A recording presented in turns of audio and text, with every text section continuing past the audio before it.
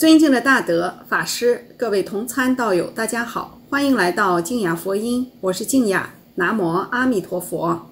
在我们的修行路上，不分年龄大小，不分前后，你修行的时间有多长，根本不在于这些，而是在于我们前世是不是修行人都有关系。我们累生累世学到的很多的知识呢？在阿赖耶识里面，其实都已经存下了，像我们的云盘，你在不知不觉中就已经给你储存上了。所以，当你想用的时候，下载下来就可以用了。我看到一个小朋友，五岁可以讲心经，讲的头头是道，我们大人都很难理解，但是他可以给你讲出来，这一定不是偶然的，他一定是前世。修行过，今世得到了发挥，今生今世都是与来生来世息息相关的，因果是分不开的。千万不要认为我是老修行，我就可以轻视下面的年轻的同修们，这个是完全错误的。就是对初学者也千万不可以轻视傲慢，不要功高我慢。我们哪里知道他的过去到底是什么来头？一定要慈悲面对我们身边的每一个缘分。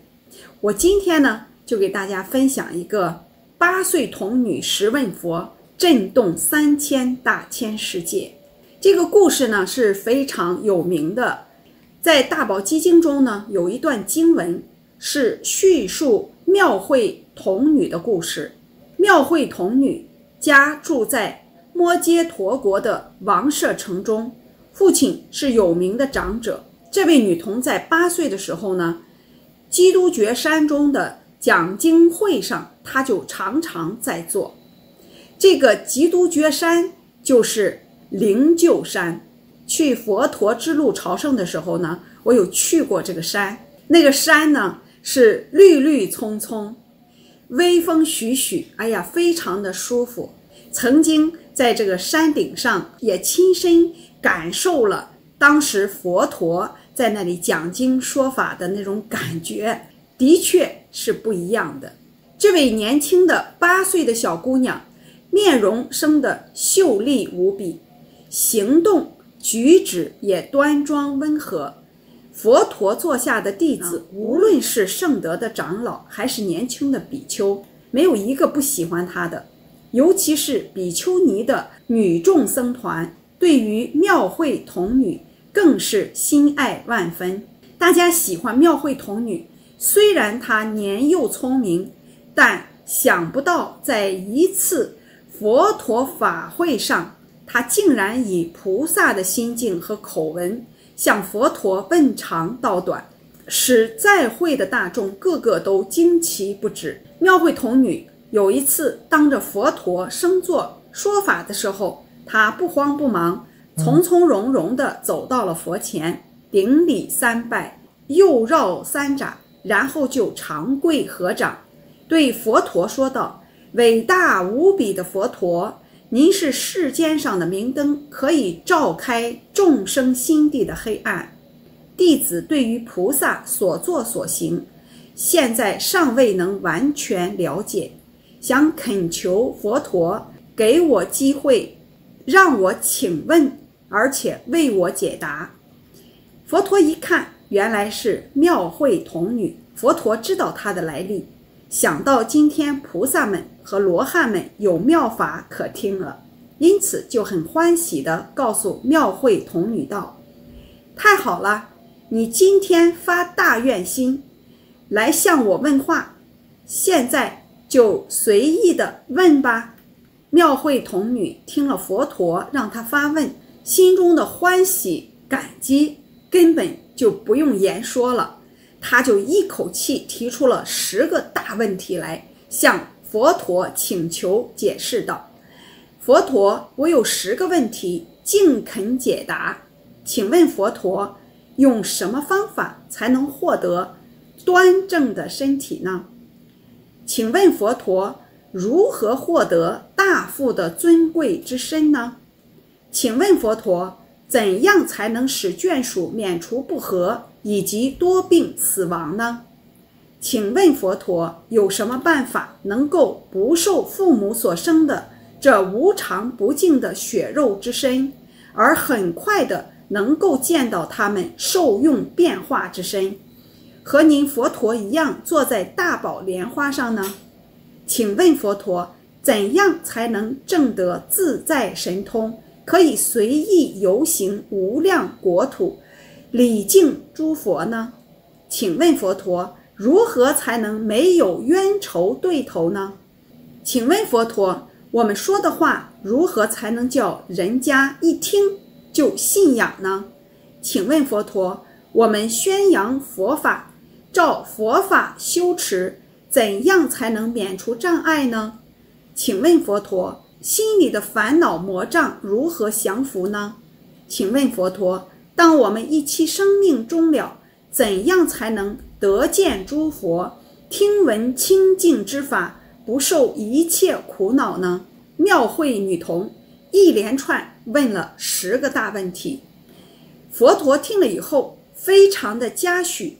庙会童女的问题，佛陀对庙会童女的每一个问题都提出了四个办法，所以佛陀开示四十个方法，告诉我们如何去做。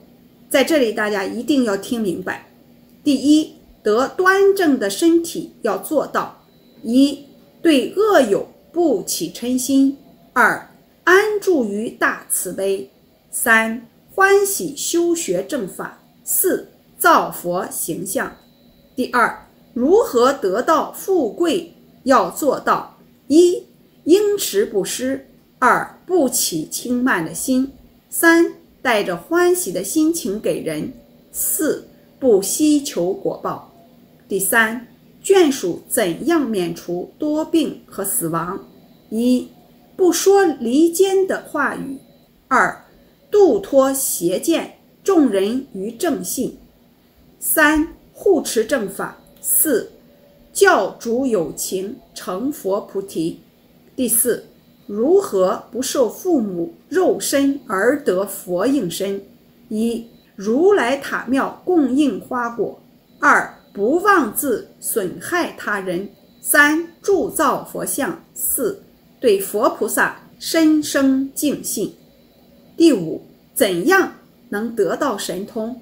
一见他修善不为障恼；二他说法时未尝流障；三燃灯供养如来；四余竹禅定常勤修行。第六，如何没有冤家仇敌？一以无产心求尽善友；二于他胜法无嫉妒心。三，他或名誉心常欢喜；四，于菩萨行无轻毁心。第七，说话如何令人起信呢？一，言行一致；二，于善有处不负逐恶；三，闻法不求过失；四，于说法者不生恶心。第八，宣扬佛法如何离逐障碍呢？一持三律一戒，二闻甚深经不生诽谤，三见出发心者生一切智心，四对主有情大慈平等。第九，如何降服烦恼魔障呢？一了知法性平等，二常行精进，三常勤念佛，四一切善根结悉回向。第十，临命终时，诸佛现前：一满他所求；二余诸善法深生信解；三余诸菩萨施庄严具；四于三宝所勤修供养。佛陀对庙会童女的十大问题提出了四十种修行的方法以后，庙会童女欢喜雀跃，发愿奉行，并且说。四时行中若有一行不修，则违佛教，那就是欺狂如来了。庙会童女的心愿发得很大，座中的目犍连尊者就以怀疑的口吻问道：“庙会童女，你知道菩萨的修行难行能行，难忍能忍？你今发此殊胜大愿，难道真的能做到吗？”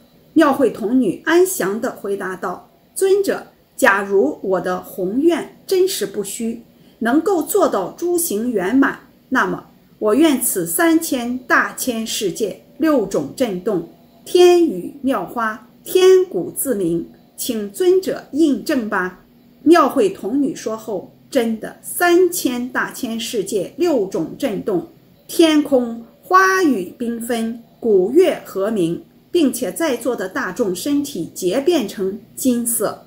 文殊菩萨见此神意，也感觉难以思议。他对庙会童女问了很多法性的问题，庙会童女都一一回答。佛陀在他们停止问答的时候，就说道：“文殊菩萨，庙会童女已于过去发菩提心，经过三十劫后才发无上菩提。”文殊菩萨，难道你记不起来了吗？他曾经做过你的老师，令你住于无生法忍。文殊菩萨经佛陀这么一说，像是恍然大悟了，即刻很欢喜地从座位上起来，对庙会童女顶礼说道：“大德，我于往昔无量劫前已曾供养。”想不到今日仍然清净。年少的庙会童女得到大智文殊菩萨向她顶礼，这可见她的来历不凡。从庙会童女的故事来看，我们每个人今生能够遇到，跟前世都是息息相关的。从庙会童女的这十个问答中，还有这个故事中呢，我们就真的是知道了。要善待我们身边的每一个缘分，千万不能造恶。我们的一言一行都会影响到我们的来生的。希望这个故事呢，能给大家启发，从中受益。好了，今天的视频就分享到这里，感恩大家的收看，看后转发，弘扬法布施。喜欢请点赞订阅，我们下期再见。南无阿弥陀佛。那